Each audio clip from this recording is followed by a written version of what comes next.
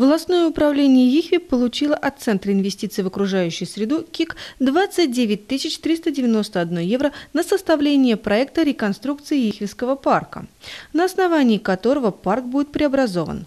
Собственный вклад волости составил 3000 евро.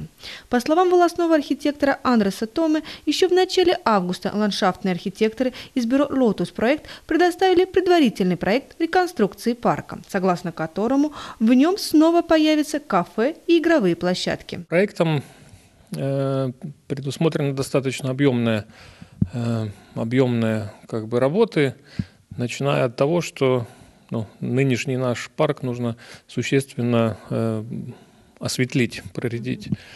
Э, то есть из, э, из э, экспертиз э, было выявлено, что ну, парк действительно очень затененный, и от этого ну, нижние э, ярусы э, растительного мира очень, очень скудные.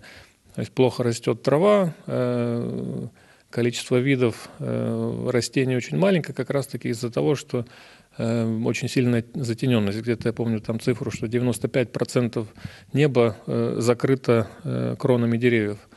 Проект состоит из трех частей. Первая часть затрагивает окрестности концертного дома. Она связана с продлением променада. Данные работы планируется начать уже в следующем году. Проектом парка предусмотрены различные зоны.